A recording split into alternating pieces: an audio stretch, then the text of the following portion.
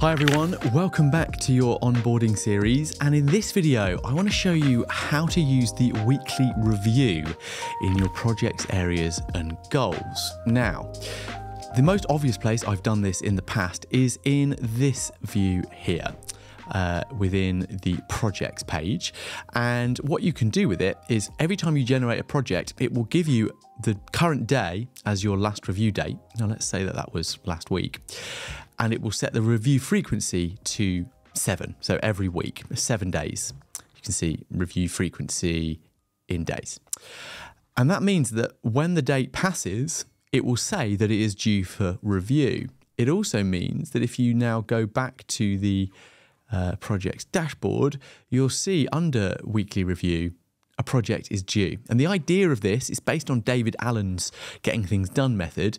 You set a review date, and then as, as long as you keep the habit, it will mean that you can go into your projects, look through your tasks, progress, information, see how you're getting on with it. And when you're happy, you can mark it as reviewed and it will update and then it will come back to you when you need to see it again.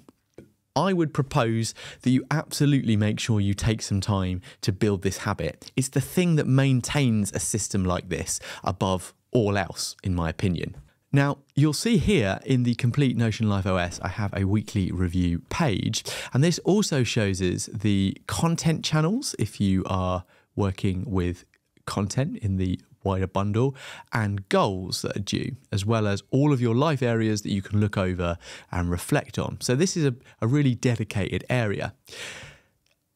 I'm going to show you how to use it in general, but also I want to just let you know that if you downloaded this before the public release, then you may actually not have in your Notion Life OS the weekly review view. And so, to get you guys to understand a little bit more in depth about how this weekly review system actually works and how I built it, so maybe you can apply it to other areas of your template or however you're using Notion, I want to also demonstrate how I made it. And if you want to add a full weekly review area to Notion Life OS, if it's not in there, you'll be able to do that. First off, using it. I would propose that you set yourself a reminder in your calendar to come back and look at this every week. Now, I think with goals, I think it's probably best to be doing goals if we look at the template for a new goal and edit it. You'll see I've set it for last review date today, that's how it works, and set review frequency as 14 days, so every two weeks. So projects are every week, goals every two weeks. And if you wanted to add this into your areas database, you'd also be able to do that by the end of this video. So what I'm going to now do is in the actual Life OS, this is just before it goes public, I'm going to update it in front of you. So let's do it. So first of all, so I'm going to put that in because I think it's not unhelpful. The first thing to do is let's set up a little weekly review um, page and it gives you an understanding of the template. So in dashboards, I want to go and create a new dashboard. I'm going to do forward slash page now, if you want to just grab a coffee and watch this, it might be a nice way to understand how the wider system works as well. We're going to create a new page and we're going to call it, we're going to add an icon. I'm going to add a custom icon rather than the punch bag. Go to my icon packs. If you're wondering where these come from, you should see a uh, PDF or you can go to bettercreating.com and find the uh, Notion icon packs and you can download these if you want to add your own icons in the same style. Uh, let's go to what color are we doing? Purple for this kind of stuff. So into purple, and I was using a computer. Nice. We open that. I'm going to add a cover now. If you're interested, you can go to change cover, unsplash. I just type in white because I quite like my templates in simple white, and I go for this Drew Beamer image every time. Just keeps a nice clean look. We're also going to make this full width. Now, if we go back to Notion Life OS, we're probably going to want our menu. So I'm going to duplicate that and click Move To and send it to the weekly review. And while we're here, let's drop it in somewhere useful under Life Areas. One, two, three to drop a line. We're going to do forward slash tog h2, which will create a toggle heading h2.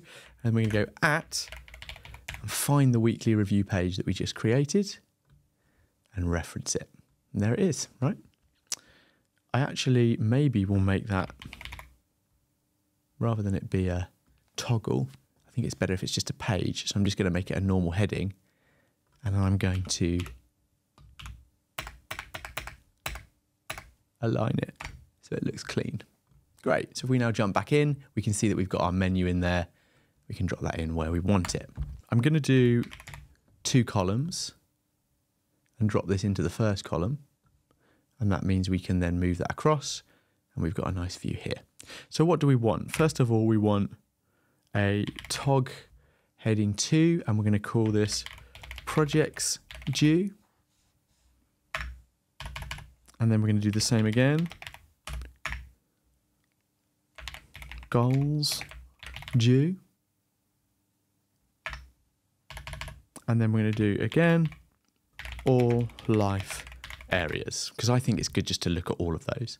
Now, in all life areas, I'm going to do forward slash table and find a table view, find the life areas database,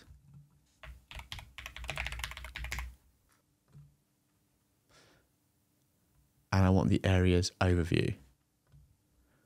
We could sort by life area so they're in alphabetical order. So there's our life areas in place. We've got our weekly review view for projects. So in here, you could go forward slash table. Doesn't matter what view it is, you just have to find the projects database. And we want due for review. There it is. Sorted. Let's just double check we're on the right one. We are. Great. So that's projects and areas sorted, and there's your page. Now, if what I'm going to do is just actually copy across my explanation, we'll go to it, and there it is. So if you want to pause the video for a moment, this is the moment to do it, and you can just copy down that information. So the only thing left to do now is actually teach you how to create the actual weekly review system and show you how it works. So let's jump into that now.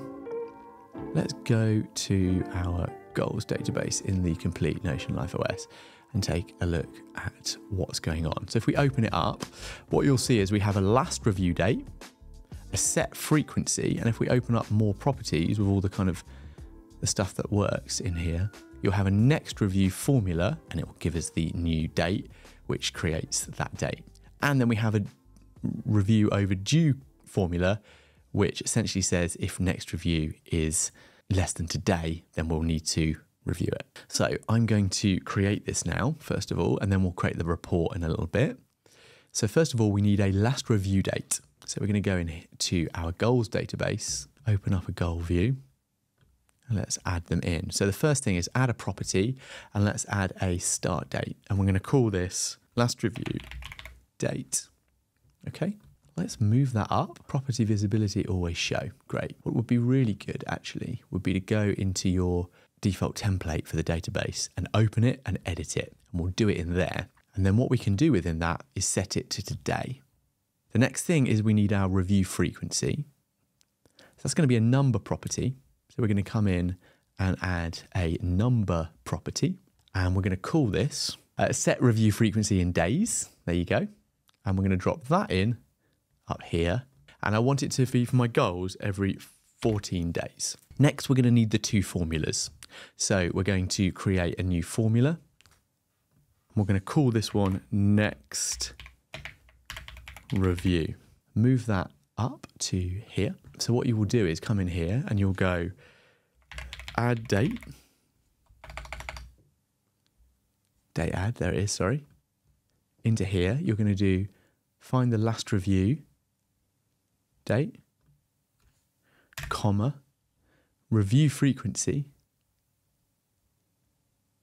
set review frequency, and then going to do comma, open parentheses, and write days, close the parentheses, and you should, if it's empty like that, it should mean it works. Great. So that's right, because it's in a template. And in fact, we can come out of the template now to make sure this is working. So let's just open up our example goal if we make our last review date Friday, set our frequency to 14, we then see the next review date comes up. Now I want to hide that property.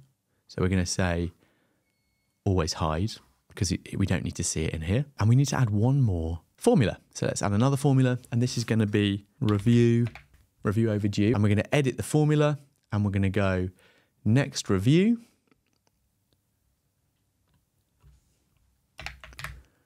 Less than, and then we're going to find today, save. Now it should mean that if we keep an eye on this,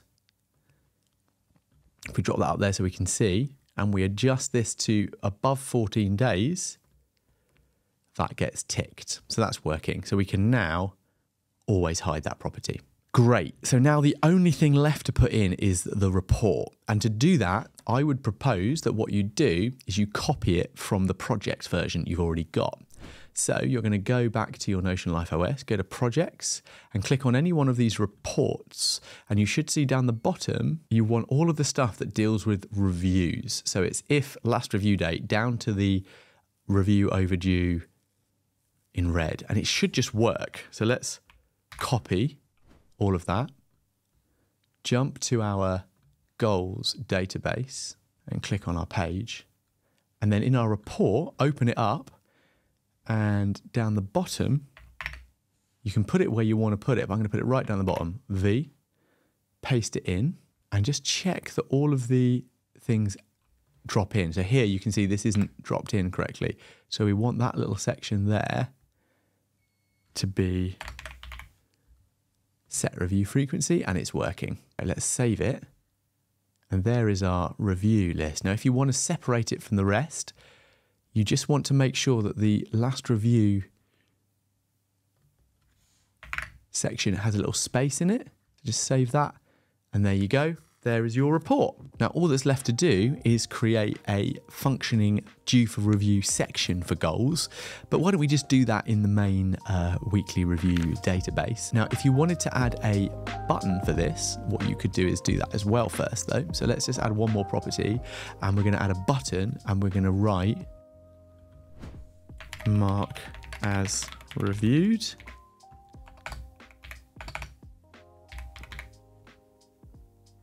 Edit the automation and we want the label to be mark as reviewed as well.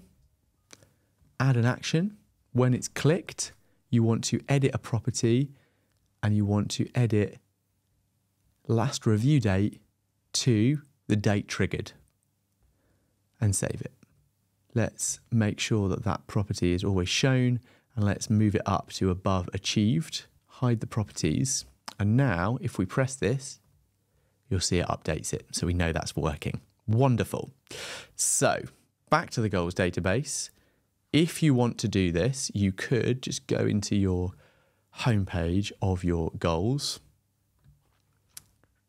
and just add your review button. So go to properties down to the bottom, you'll have, you'll have a button somewhere here, mark as reviewed, show it, pop it in where you want it. There you go, happy with that.